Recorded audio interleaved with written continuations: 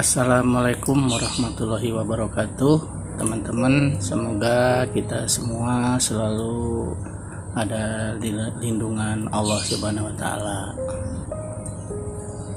Kali ini hanya ingin berbagi cerita teman-teman tentang proses pembuatan bonsai kelapa di mana kegagalan merupakan hal yang tidak bisa kita hindari dan bahkan kegagalan ini sering terjadi dan mungkin juga terjadi juga di teman-teman para pencinta bonsai kelapa.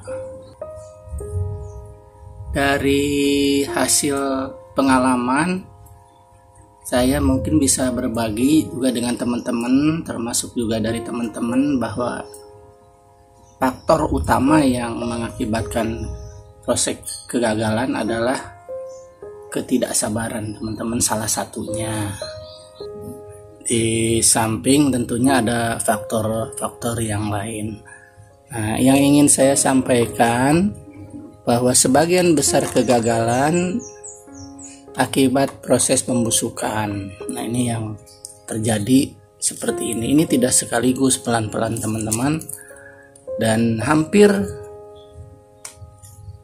mayoritas proses pembusukan ini yang menggunakan teknik tebas ekstrim. Padahal saya dalam memproses tebas ekstrim ini boleh dikatakan sangat hati-hati teman-teman. Pisaunya disterilkan, dijemur, diberikan alkohol. Nah, tapi kalau proses pemotongannya terlalu pendek, akibatnya seperti ini. Walaupun tidak semua ya ada sebagian kecil tapi memang secara kuantitatif cukup banyak yang gagalnya. Hal lain yang ingin disampaikan bahwa proses tebas ekstrim itu jangan dilakukan di musim penghujan. Karena ternyata hasil tebasan itu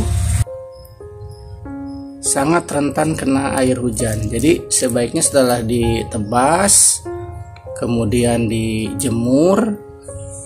Nah, dalam proses pertumbuhannya dihindari kena hujan secara langsung. Ini beberapa hasil tebas ekstrim yang mengalami kegagalan. Walaupun tidak semua dari proses ini gagal. Ada beberapa juga yang cukup berhasil. Salah satu hasil proses tebas ekstrim yang dinilai cukup berhasil tapi juga tidak sedikit yang mengalami kegagalan. Dua bahan bonkla yang cukup sudah penggolnya besar ini juga gagal yang satu sudah busuk yang satu sedang mengalami proses pembusukan dari pucuknya. Mula-mulanya dari sini nih teman-teman tuh. Jadi busuk dari pucuknya. Ini terjadi di musim penghujan. Jadi kalau tebas ekstrimnya di musim kemarau ya cukup banyak yang berhasil teman-teman ini sudah kering teman-teman. Ini sudah cukup besar bonggolnya dari kelapa sayur ini juga dari korban tebas ekstrim.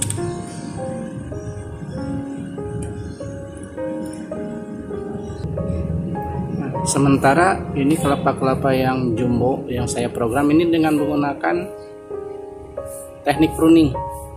Jadi sama sekali tidak ada pemotongan apalagi ditebas secara ekstrim ini alhamdulillah tidak ada satupun yang gagal teman-teman.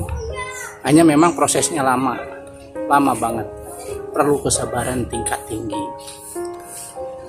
Ini salah satu ini salah satunya yang di pruning. Jadi daun dikurangi dibuang lalu pelepahnya dibiarkan sampai kering.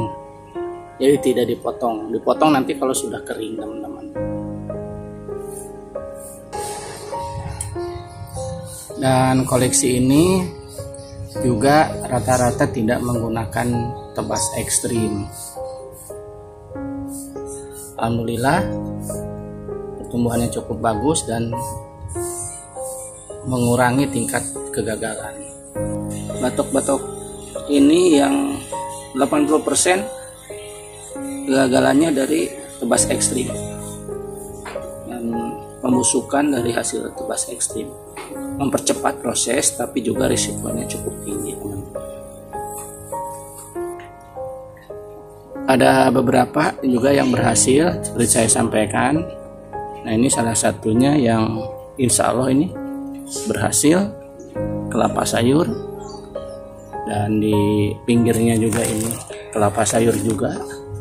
Saya memang banyak yang ditebas ekstrim itu dari kelapa-kelapa sayur yang memang uh, pertum apa uh, karakternya panjang ya lah panjang-panjang lebar-lebar teman-teman Nah ini sebagian besar memang yang di dalam pagar ini tidak menggunakan tebas ekstrim. Oke teman-teman, demikian pengalaman kali ini tentang kegagalan yang mayoritas disebabkan oleh program tebas ekstrim dan dilakukannya di musim penghujan. Nah, sebaiknya kalau di musim penghujan dihindari tebas ekstrim karena sangat-sangat rawan akan terjadinya pembusukan teman-teman.